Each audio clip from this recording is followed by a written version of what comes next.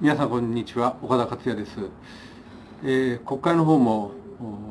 まあいろいろ混乱はありますけれども予算委員会も終わり各委員会がスタートしています、まあ、実は外務委員会が出なければならない委員会衆参合わせて9つあります、まあ、なかなか大変なんですけれども今、まあ、私の所信表明に対する質疑などあるいは一部条約のに関する質疑などが始まっておりまして、えーまあ、連日のように何時間も、まあ、国会で委員会に出席するという状況が続いています。まあ、今までは質問する立場だったわけですけれども、まあ、今回は大臣として答弁するもちろん副大臣にも答弁を一部してもらってますけれどもなかなかいつどんな難しい質問が来るかということは分かりませんしかも、えー、野党の方はああまり具体的な質問を事前に通告しないということでありますので気の抜けない、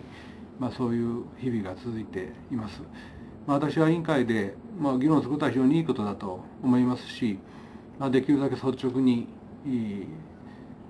そして本音で議論したいというふうに思ってますけれどもなかなか難しいところがあるのも事実です。まあ、最近話題になったのは、まあ、私と総理の答弁が食い違ってるんじゃないかという質問をいただきます。えーまあ、私は物事が決まるまでのそのプロセスで各大臣が自分の言葉で語れば、まあ、そこに若干のニュアンスの違いが出るのはやむを得ないんじゃないかと。もしそれを避けようとすればあ各省と各省庁で、えー、答弁の答えぶりを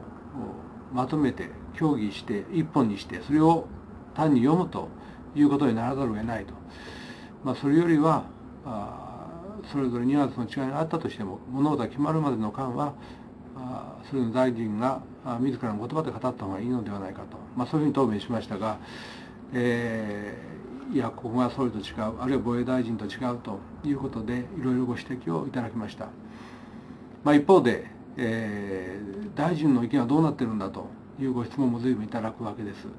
ここでうかうかと乗って、まあ、私の考え方をより率直に述べてしまいますとまた後で、えー、違ってると食い違ってると他の大臣あるいは総理との答弁と違いがあると、まあ、そういうふうにもなってしなりかねないということです。まあ、そういうジレンマを抱えながらも、まあ、なるべく率直に自分の思いを伝えたいというふうに考えています。今日はたまたまその委員会が、え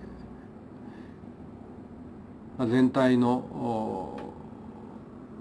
本会議強行採決を、まあ、一つのきっかけに流れましたので、えー、傍中関われて、えーまあ、本当に久しぶりに本屋に行って、えー、本を買う自由な時間を得ました、えーまあ、これはありがたいんですけれどもしかし同時に、まあ、国会早く正常化して、まあ、しっかり議論をしたいなと、まあ、そういうふうに改めて感じている次第です。今日は以上です。